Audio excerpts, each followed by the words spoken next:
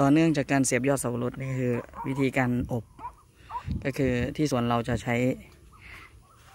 โรงอบแบบมินิแบบนี้ ก็คือเป็นถุงใบใหญ่ไซส์ยี่สามนิ้วคูณสี่สิบสามเอา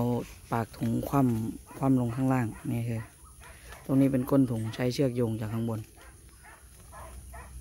พอเสียบยอดเสร็จปุ๊บเอาเสาวรสเข้าไปเรียงเรียงแล้วก็ตอกหลักรอบ ตอกหลักรอบเสร็จอะรดน้ำให้ชุ่ม แล้วก็เอาถุงคลุมลงแล้วก็ใช้ดินกบกบขอบให้มิดชิด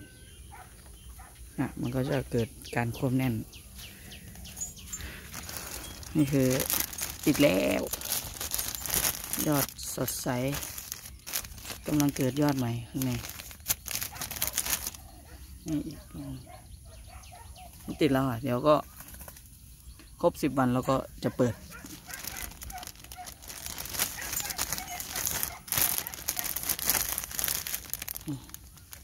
ใกล้ครบแล้วละวันนี้ก็แปดละอีกสองวันเราก็เปิด สังเกตจะมียอดใหม่ๆนี่ก้านใหม่ๆเล็กๆออกมา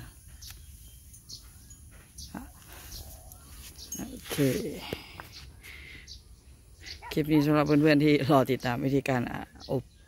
ต้นกาอยู่สำหรับต้นกาที่เสียบยอดทุกชนิด เราก็จะใส่ลงอบแบบนี้นี่สังเกตเราจะมีเยอะเลย เราจะไม่ทำเป็นโรงอบใหญ่ๆ เพราะถ้าทำโรงอบใหญ่ๆ คือเราต้องเสียบทีละหลายพันต้นหรือเป็นทีละหมื่นต้นอะไรอย่างนี้ทางนี้เราแบบแบบบ้างตอนไหนเสียบสิบยี่สิบต้นเราก็เอามาแยกใส่โรงอบแบบนี้ได้เลย